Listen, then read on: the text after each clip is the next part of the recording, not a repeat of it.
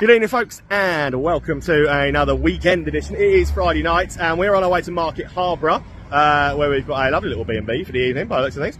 Um, we always ask on the page before the week starts, or say where we're going, and ask for suggestions. And we were given a little suggestion, which is about 10 minutes outside Market Harborough, to stop at on our way down. So we're in the village of Church Langton today for stop number one, and this beautiful looking pub behind us called the Langton Arms. So this is going to be stop one, and then we'll go to Market Harborough. Oh, very good decision to stop here. It's a lovely little pub. It's run, it's run by the Red, Red Cat Pub Company. We've come across them before in Rothley. Uh, it's a stunning pub, and this is no different. Uh, what is sort of on off? This is the uh, this is the bar area. Absolutely brilliant. Um, and it just uh, yeah, just a really nice village feel country pub. Great start. So we've made it to Market Harborough. Uh, we're a big fan of the Red Cat Pub Company uh, and the ones of theirs that we've done already. So that was a really nice little stop off on the way here. But into Market Harborough now, there looks to be a good little run of stuff we can do. And stop numero uno here is going to be the Freemasons Arms. Looks like quite a big place. Bring on the beers. Uh, I tell you what, this has been an absolutely top place to have started in Market Harborough. Um, there's a, a, massive selection of craft beers, cans and stuff behind the bar, um, uh, taps, which is always lovely to see because it's nice when places don't neck oil on. So Bones and Luna Haze on as well, which I love. Um, got some live music going on later on. It's a friendly vibe. It's just lovely in here. This is a this is a real top uh, proper pub. Good start, Market Harborough. Good start. Uh, really impressed by the Freemasons Arms, just a really nice feel about it, uh, really good beer selection, um, and a great place to start really. Uh, a minute's walk up and on the other side of the road is the place where we've been most suggested to us on the post uh, for Market Harborough. And it's called Beer House. And to be honest, it's busy, it's, uh, it's still early doors, not even, well, it should, might, might just about be seven o'clock. Uh, and this looks right up our street looks to have a great selection of beers and stuff on. So yeah, looking forward to this one. Uh, yeah, very much up my street. Um, I've got a half a baker's dozen, which is a 4.3% cherry sour, but just got on offer in here.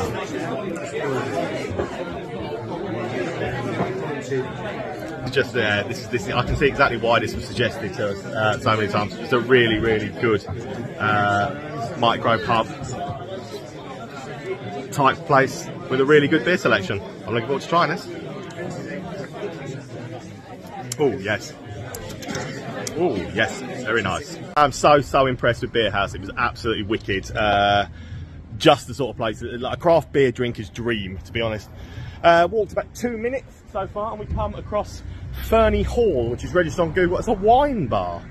So, uh, I haven't been to a wine bar for a while. We're going to go in a wine bar. It's very nice, very plush looking little place. Really, really nice. Uh, I don't want to, uh, I don't want to go waving anything around, but yeah, it's uh, a really nice plus. This is definitely a date night style, date night vibe in here, really nice. So this is the part of the video where I go on about how lovely the little town is and how nice the architecture and the old buildings are, but you know what? I'm going to be that guy again because it's just, this is like Market Harbour's little town square type place. And uh, it's just, uh, it's just nice, you know? It's nice to show you around the town sometimes but we're going to go and find a pub. Next of call was going to be 53. Um, opening hours on the window, uh, say till 10. It's closed and in darkness. So on we walk. So what shame we couldn't get into 53. It actually looked really nice. Uh, we can't, but here we've come across the spoons.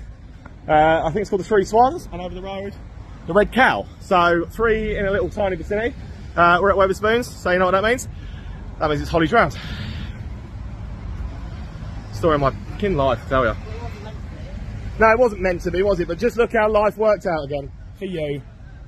Try to look at the camera. Look. look how life worked out for you. It's not my fault. It never is. Uh, it's deceptively large. It's called the Sugarloaf. The spoon's deceptively large. Actually goes a, a long old way back. Uh, you know what? It's the spoons. Staff are fast, friendly. Um, it's quite busy, busiest pub we've found so far. Um, yeah, as far as spoons go, can't complain, nothing wrong with it. We got served, so you know, it's one up on uh, Pontefract. Yeah, it's all right as Wetherspoons, uh, to be fair. Just met two, uh, two lovely fellas. We're going to bump into them later, apparently, in Louisa's, that we haven't done yet. So that's uh, that's to come. And he's going to buy us a drink, you know, that's there. Uh, next stop is the Three Swans Hotel, which looks a lovely old boozer. Uh, so that is Stop number, stop number six for the day. Five in Market Harbour, six for the day so far. So this is run by the Coaching Inn Group. We've only come across them once so far in Stafford in the Swan, which was a lovely old, uh, old building with lo lots of narrow corridors, low ceilings, beams, stuff like that. This is no different. It's absolutely beautiful. Uh, they've actually got 32 in their group, so I've just read in the toilet. Um, and they've just won Hotel Chain of the Year for 23-24. Uh, which is some going. Uh, fair play, it's beautiful. This is just uh, yeah, but yeah, what a wicked, uh, a wicked little place. Uh, really lovely, really smart, really snazzy. Uh, yeah, I can see why they've been voted as highly or, or regarded as highly as they are. Yeah, really lovely, really lovely old establishment. That uh, dead opposite then brings us to the Red Cow for stop number seven of the day. This is a really nice place, really swank, feels really swanky, feels really nice. Got a bit of Michael Bolton playing in the background, and you can't go wrong with a bit of Michael Bolton, can you? We've got the sport on, it's smart, it's clean, the guys running the place are friendly. It's just, yeah, this, uh, this is a top-notch place. This. Very impressed with the Red Cow. Yeah, really impressed with it. It's really nice. It's a really nice place. Uh, if you come out the back door of the Red Cow, you come straight to the uh, the Nag's Head, which is the Craft Union pub of the town. Uh, it's a nice little circuit here, to be honest, and a little small small vicinity. There's, there's quite a few pubs you can go in and, and all different vibes. So yeah, it's all right just here. Yeah, it's definitely the younger generation uh, pub of the town. It's the craft union, obviously, so definitely a younger crowd and things in here. It is, it's, it's all decked out nicely for Halloween, uh, stuff like that, pool table on everything like that. But the uh, three wickets and six quid deal, no more. Not in here anyway. Uh, and the barman didn't know. He initially told us it was on. Then uh, when he rang them through, it wasn't. So sad times if that deal's gone because it was a good deal. RIP, three wickets for six quid deal. Let's hope it's just in Market Harbour. So panic over, it looks as though that deal is still on in Craft Union, it's just not in the Nag's Head for some reason, having checked on the Craft Union website.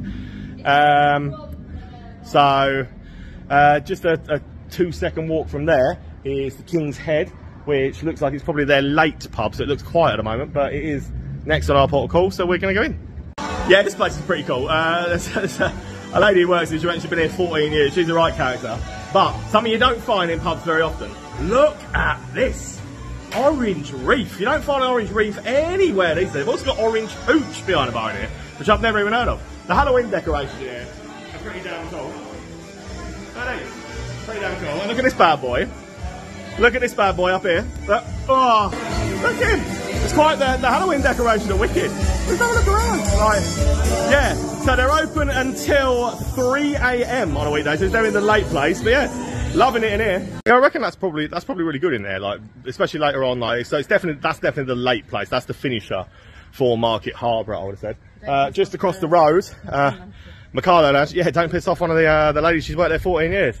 I wouldn't piss off. She's scary scary. Really nice though, but scary. Yeah, don't Warm upset. vibes, but scary ones. Yes. Uh, so, Mercado Lounge uh, is the last one of the actual sort of town centre circle, I think.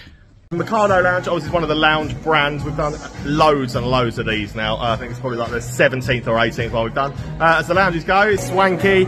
It's got all your, uh, you saw your, there's a lampshade, one of those funky lampshades over in the and stuff like that. Friendly staff, good service, thumbs up, Mercado Lounge. So at a five minute walk uh, away from the, the town centre bit, gets us to the other pub of Market Harbour, which is a nice old building. Uh, it's called the Admiral Nelson Centre of the Community. This this is more like a community pub in the in the heart of like the houses and stuff like that. So they're always worth walking to, usually. So we'll go and see what we think. Yes, this is a good community local. Um, definitely like in, in the house and stuff like that. I haven't actually seen what I'm talking about, but yeah, this is a very nice, good looking, well kept, dog friendly boozer. Um, yeah, it's worth the walk. It's worth the walk out town. Definitely something that shouldn't be missed. Um, you should definitely come and have a look at this if you're in Market Harbour. Very nice. Anything to add, dear? I'm in love with the dog that was at the bar, so. She's drunk. I'm not drunk. There's a dog, and it, the dog's cute. But I made friends with the dog. Which is exactly what you would do. It is exactly what I would do, to be fair. Can't know that. So, our final port of call for the evening, uh, having, again, we really liked the, the Admiral It's really nice. Final port of call for the evening is Louisa's, that we were told is the other late night finishing place. They're up until 2am. Uh, and apparently it's a cocktail bar. It is, it's nice. So I'm going to go in and... Strawberry daiquiri. You want a mock, mock, mock, Cappuccino. Mochaccino. how about a pina colada? Yeah, they do that. They do pina coladas. Amazing. It's similar to pina colada, not quite a pina colada. Oh, it's a what? It's a bit classier than I don't know what it's called. A bit classier than a pina colada. Mochaccini is But really it's very nice. Oh, classier than a pina colada. I'm sold. I'm in. I'm sold. We're going in. Ladies, have a lovely evening. I'm going to go and find my classy pina colada. Whew. And the good news is they do do a pina colada, so we're going to try it together. Oh, yeah, it's good. Good. 18 quid for two cocktails, not bad. Uh, nice vibe in here. Have a look. It's, uh, it's definitely like the it's definitely like the younger hangout. The crowd in here is uh, is definitely a younger vibe, but uh, good place to finish. So yeah, that's us. That's us out for tonight. Uh, thanks for watching, and make sure you hit subscribe. We'll see you tomorrow for Newcastle Under Lyme.